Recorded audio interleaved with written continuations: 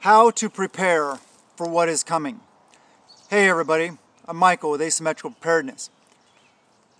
That's a good topic, right? Good question. How do I prepare for what is coming? Well, first off, you got to know what is coming. Do any of us really know what is coming? That's another good question. No, not really. We have indications, we have thoughts, we have feelings, we may have promptings, we may receive notifications from the Spirit, depending. News sources, reliable or not, what is going on? There's a lot going on in the world today, right? There's a lot on the horizon, right? Yeah. There's a lot of stuff that is uh, very troubling um, that I hear about. And the direction that we seem to be heading right now is not a very good one. We got this big bubble. What do bubbles do? Bubbles don't go forever, right? They burst, right? What about all this posturing? War type stuff. Yeah, proxy versions of it.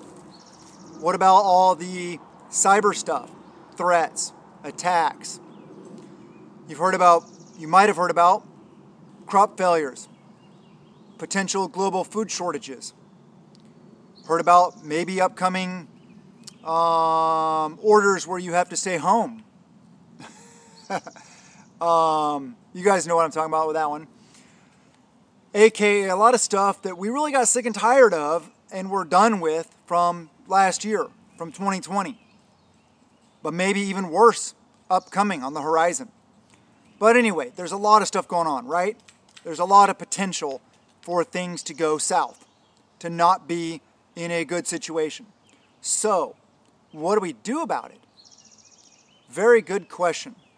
One of the best things I feel to do to be ready for whatever is going on is to do this stuff grow food, raise your own animals.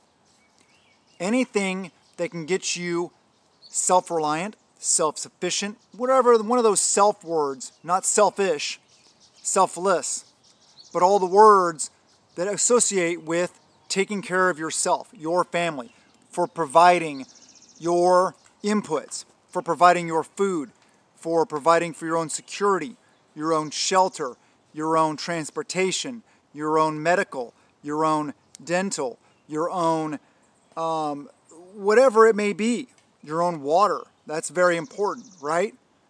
Those are the big ones that I key off of right now. One thing that people talk about a lot is okay, so you got all this stuff. How do you protect it? Things like what goes here? check out the link in the description below for Patreon. That's where we talk about that kind of stuff. Because that kind of stuff is not conducive to this platform. Due to events that I never ever thought I would ever have to deal with in the United States of America. Enough said about that. Have ways to protect what you have, to secure what you have, what you're growing, what you're raising, What's your stockpiling? How secure is your location? Low population density, high population density.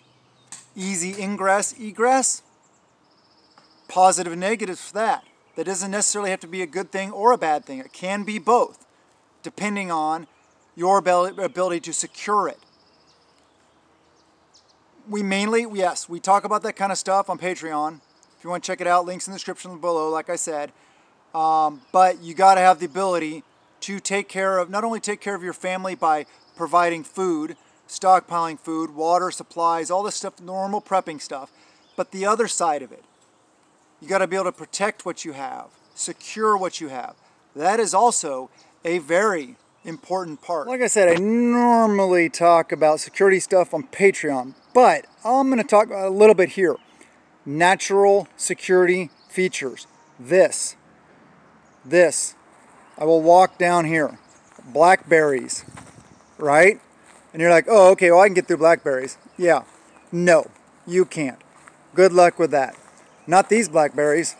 Here, this is an elevated portion. I'll stand up here on, and you can see they go all the way down the hill down there. All this is blackberries. You are not, nobody is coming through that. All that is blackberries. Yeah, I get it. I need to cut it back some. It's a little crazy. And then around there and around there. And yes, natural security features. Use them. Many of you that have been around this channel for a while, you have seen this. But this is an example of what I recommend and I hope that a lot of you are doing. This is growing your own food. Very, very important. I'm not going to go over all of it. I've talked about this before, all the stuff I'm growing. And maybe I'll do an update video again, but peas that are over seven foot tall. Yeah. Potatoes are about ready to pull up. We got cantaloupe here. We got sweet potatoes here. Beets, potatoes, potatoes, potatoes, potatoes, potatoes, right? High in calories, good for you. We love them. Um, tomatoes, we got peppers, squashes, and corn. Yes, you see that corn? You see that raised bed is 20 inches tall. And that's how tall the corn is coming up out of it. Awesome. Good, yummy, higher in caloric value. Same with this down in here. Squashes, zucchinis, good stuff, right?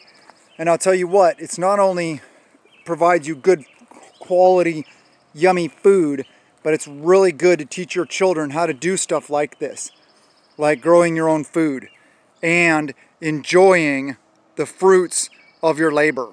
I talk all the time about growing your own food, raising your own animals, stockpiling food, you know, that emergency fund, or emer yeah, emergency, your food storage, blah. Your food storage is your emergency fund, right? And then your working pantry and what you're growing and stuff like that is what you're using out of all the time. Talk about that stuff all the time. But yeah, I don't talk about all the security stuff as much here on YouTube. Every once in a while I mention it like I just did.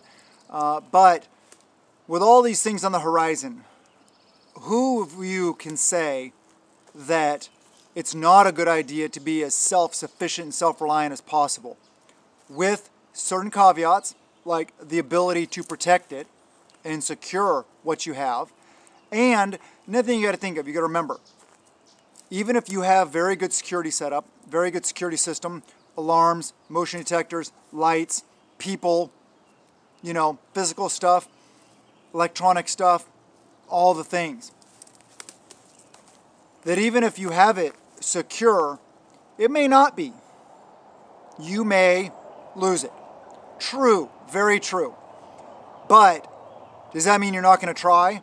That's like saying, okay, well, if uh, if nuclear war broke out, we're all going to die anyway. Okay, so does that mean we don't prep? No, that doesn't mean we don't prep. We still do our best and hope, do our work, prepare for the worst, hope for the best. That's what I was getting at. That's very important. Also to stay positive. That's what I'm, I'm one of my main goals here is to try to stay positive, uplifting, and empower you guys to think. I try to think of as many things as I can that are outside the box outside the prepping norm. I talk about prepping norm a lot also because it is. It's the core. It's what's very important. It's the core skill sets, the core um, food storage, the core water storage, core medical, all this stuff. That's what really forms the nucleus. I also mention a lot of times, all the time, this is the most important tool in prepping. Have a good ball cap, I mean. No, of course that's not what I mean. Your brain, right? That is the most powerful tool in preparedness. Seriously, your ability, your mental ability to cope with change and to stay ahead of the game, to make dynamic decisions quickly. Talked about that recently, though. Let's not go into that anymore. Um, I just really want to get through to you guys that to keep on prepping, to not take a break, to not take it easy, to also not get overwhelmed, not be watching all, all these. There are a lot of channels that talk about what's going to go on, bad stuff all the time. Bad, bad, bad, negative, negative, negative. Okay, we can't concentrate on the negative all the time. We have to be aware of it though, like I talk about it also sometimes. Um, but like I've said on this channel since almost the very beginning, we prep at a peace of mind, not out of fear. That's what prepping is. Prepping gives you peace of mind your food storage is your emergency fund, your water storage, your medical, all that kind of stuff. That's your emergency fund. Just like we have an emergency fund in the bank, right? Or not in the bank, but um, you know, hidden in your mattress or buried in the yard, something like that. You know, whatever. Um, keep your heads high. Stay positive, and do the best you can. We're all in different situations. We're all in different areas of operation. We all live in different areas. We all deal with different things, different threats, different needs, different. We all, we all have different abilities. We all have different capabilities. So try to mitigate your weaknesses, build on your strengths, and just do your best. Stay positive. Have a wonderful day. Please subscribe. Please hit the like button. Please comment below. Please share the videos. I love you guys. Have a wonderful day and blessings to you and yours.